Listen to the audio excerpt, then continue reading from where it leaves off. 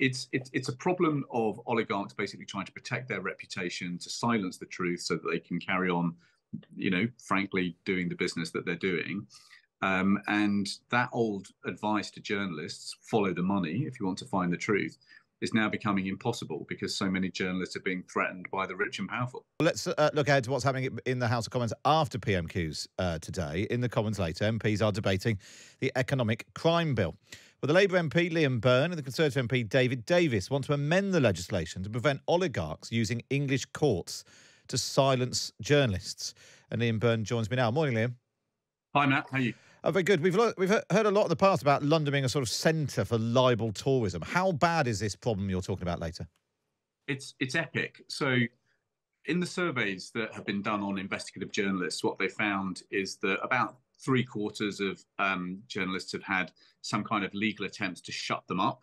So sometimes that is, uh, as you may know, just people sending um, uh, a kind of a letter before action where we where the individual uh, who's being investigated kind of threatens the journalist with legal action if they pursue their line of inquiry.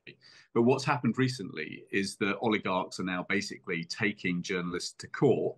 And what they're doing is not trying to win their case, they're just trying to rack up gigantic legal bills, which an individual journalist could never afford, in order to intimidate them from writing their stories. So the UK now is responsible for more legal actions against journalists than America and Europe put together. So we've basically become this kind of global epicenter of lawfare designed to silence the truth tellers. And our amendment today basically just gives the judge the power to, to stop that.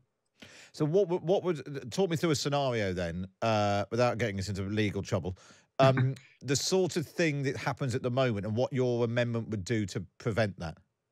Yeah, so so so this is the irony. If we if, if you and I start talking about some of the individuals who are moving these cases, we would get a legal action before you know it. If I go into the chamber behind me and talk about it, I'm protected by privilege. But if you and I talk about it now, um, then we're not. But if you go through cases like Tom Burgis or Catherine Belton, Carole Cadwalladr, Open Democracy, the Bureau of Investigative Journalists, the, the ex-member of Parliament, Charlotte Leslie, uh, Forensic News. These these are all organisations that are uh, have either just been in court or are in court now. And basically, uh, the oligarch will hire some incredibly expensive London lawyers, um, and they will basically either sue the journalist for defamation or for libel or for some kind of breach of uh, GDPR legislation. And they're not trying to win the case. All they're trying to do is keep the case in court for as long as possible because they know that every minute in court is racking up a gigantic legal bill for the other side. And so, what a lot of editors are doing is saying, well, look, we just can't afford to run your story because we just can't afford the risk of going to court. Now, what they've done in America and in Europe is they've changed the law so that the judge has actually got the power to strike out immediately anything that looks like um, a, a, simplistic attempt to, to silence a journalist. And that would then stop the clock immediately. It means the costs wouldn't mount up and the journalists would therefore be actually free to go and do their investigation and publish the truth.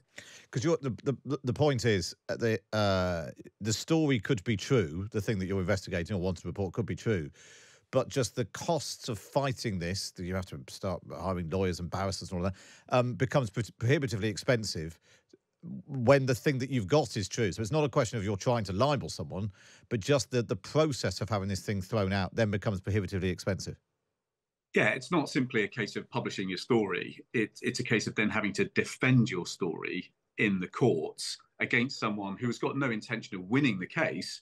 They just want to inflict a financial pain on you. So, if you take Catherine Belton's case, which is quite famous, she was a, a author, brilliant author of a book called Putin's People, uh, which names a number of Russian oligarchs who, by the way, are now on the sanctions list here in the UK.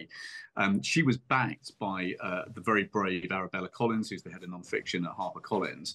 But you know that legal bill probably cost HarperCollins well over a million quid. Um, even though HarperCollins won the case and Catherine Belton won her case and was completely vindicated. So it's it's it's a problem of oligarchs basically trying to protect their reputation, to silence the truth, so that they can carry on, you know, frankly, doing the business that they're doing. Um, and that old advice to journalists: follow the money if you want to find the truth is now becoming impossible because so many journalists are being threatened by the rich and powerful. Well, we'll see what happens later on in the House of Commons. Really good speech today, uh, Liam. Uh, thank you for that. Uh, Liam Byrne, uh, Labour MP, uh, looking to amend the economic uh, crime bill. And in fact, um, the Times' top top lawyer Pia was on breakfast this morning talking about how I think she, she's quite forthright with uh, telling certain people to clear off with their letters, but it's a real it's a real problem as we've uh, we've seen in in recent days with certain politicians waving around legal letters as well.